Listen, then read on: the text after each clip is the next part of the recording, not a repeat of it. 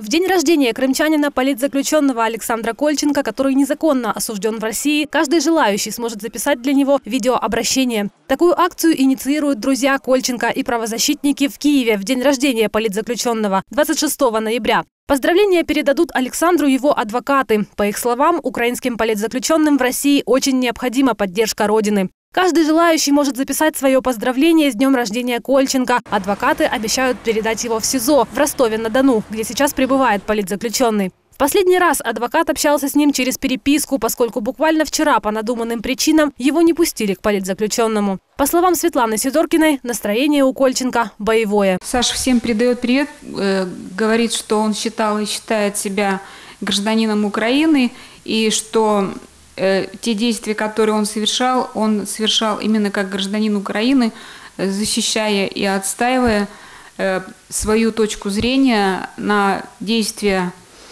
которые, и события, которые происходили в Крыму.